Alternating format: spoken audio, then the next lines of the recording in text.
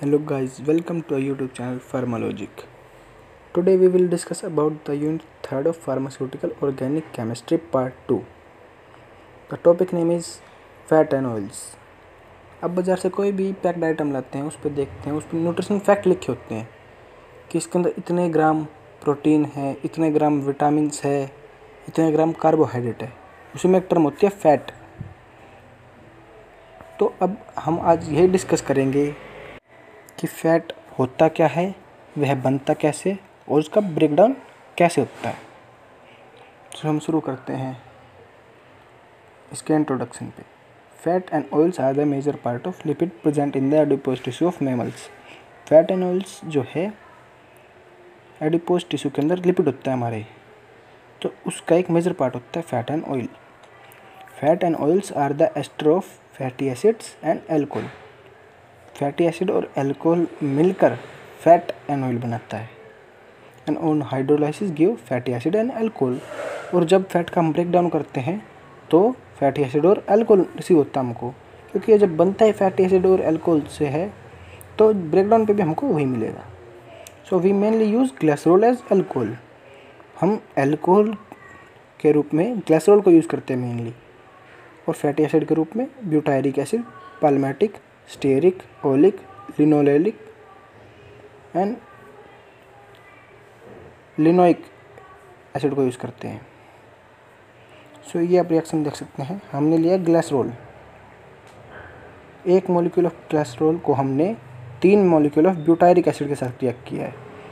तो हमें फैट मिला है as in form of tributyrin so these are also called as tri triglyceride as three molecule of fatty acid condense with one mole of glycerol to form fat इसको हम try बोलते हैं, क्योंकि इसमें तीन मॉलिक्यूल होते हैं फैटी एसिड के और वन मॉलिक्यूल होता है ग्लासरोल का। तो इनको कंडेंस करके फैट क्रिएट होता है।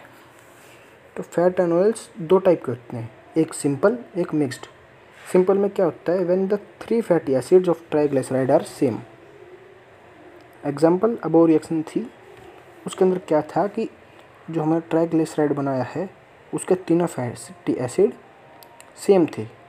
तीनों फैटी एसिड सेम होने के कारण जो हमें ट्राइग्लिसराइड या फैट मिला है, उसके भी तीनों लास्ट वाले एटम्स सेम थे। अब जैसे मिक्स्ड में देखते हैं when the three fatty acid of triglyceride are not identical इसमें देख सकते हैं बीटा पैलमेटो अल्फ़ा एस्ट अल्फ़ा डाइस्टेरिन का एग्ज़ाम्पल लिया है। इसके अंदर C S two O C O C seventeen H thirty five है।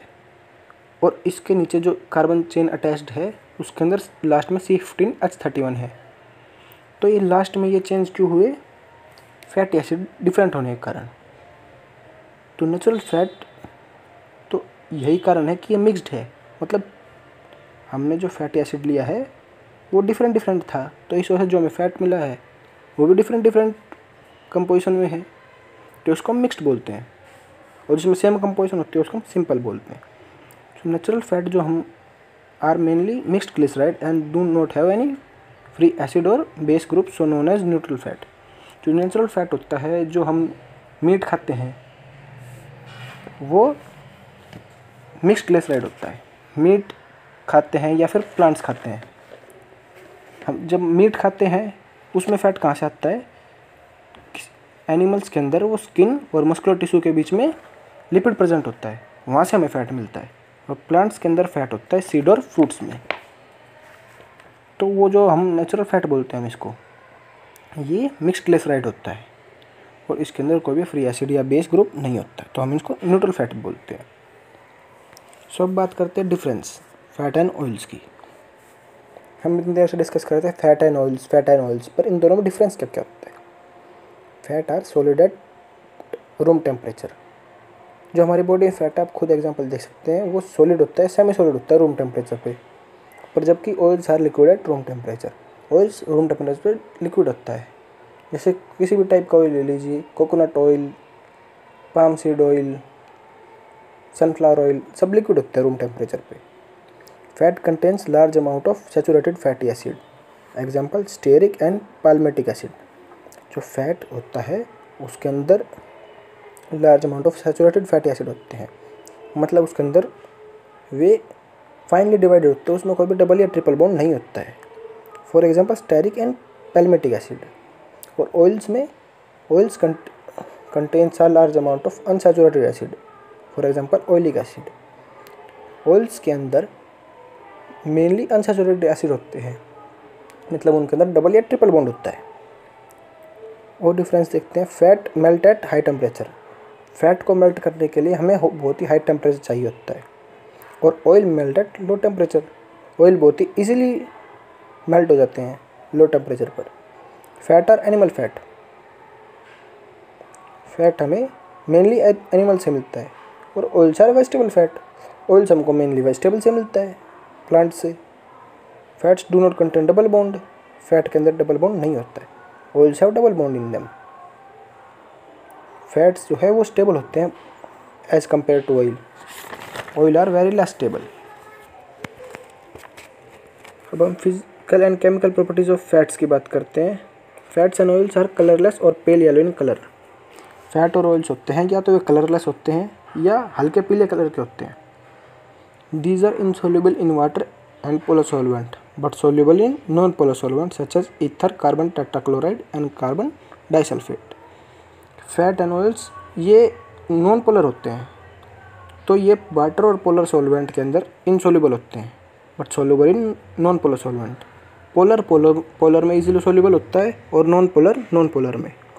तो ये insoluble in water and polar solvent but soluble in non polar solvent such as ether for example ether में carbon tetrachloride में और carbon disulphide में ये easily soluble है, क्योंकि ये नॉन पोलर सॉल्वेंट्स होते हैं। अब इसकी हम कुछ रिएक्शंस पढ़ते हैं फैट एंड ऑयल्स की। पहले पढ़ते हैं हम hydrolysis hydrolysis result in cleavage of ester linkage of fat to give glycerol and fatty acid हम हाइड्रोलाइसिस करते हैं फैट की तो वह ब्रेक डाउन कर देता है और हमें ग्लिसरॉल और फैटी एसिड अचीव होते हैं। यह तीन तरीक़ों से होता है। By water.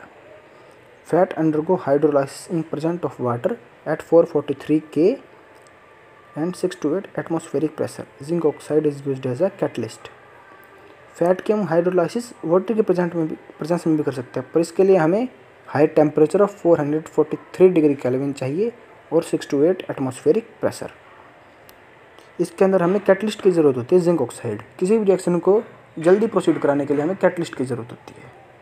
सो हम यहाँ फैट लेते रिएक्शन में, देख सकते हैं आप, उसको हमने वाटर के साथ रिएक्ट किया। जिंक ऑक्साइड के प्रेजेंस में at four forty three kelvin temperature so हमें यहाँ पर ये एल्कोहल के रूप में ग्लासरोल और फैट एसिड अचीव हुआ। हम हाइड्रोलाइसिस एंजाइम के द्वारा भी कर सकते हैं।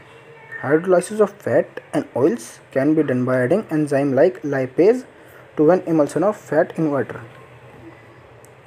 हम फैट ऑयल्स का हाइड्रोलाइसिस कर सकते हैं। कैसे पहले हम फैट को वाटर में डिज़ोल्व करके उसका एक इमल्सन क्रिएट करते हैं और उसके अंदर एंजाइम लाइपेस डाल देते हैं। उसकी वजह से उसका हाइड्रोलाइसिस हो जाता है फैट का।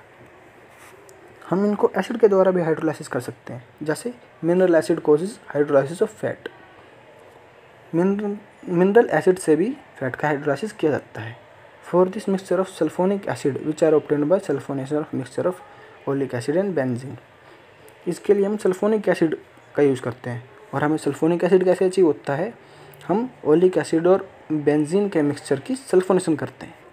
अगले केमिकल रिएक्शन हम डिस्कस करते हैं फैटनोल्स की जो है सेपोनिफिकेशन जैसे नाम से रिसेंबल है इसमें सोप का ध्यान आ रहा है saponification so when hydrolysis of fat and oils is carried out by using alkali like sodium hydroxide, caustic soda caustic potash alkaline salt of fatty acid known as soaps and glycerol as obtained this process is known as saponification जब fat के hydrolysis की जाती है alkaline medium मतलब basic medium में जैसे sodium hydroxide caustic soda caustic potash alkaline तो हमें फैटी एसिड के साल्ट मिलते हैं, जिनको हम सोप बोलते हैं, और ग्लेसरोल मिलते हैं।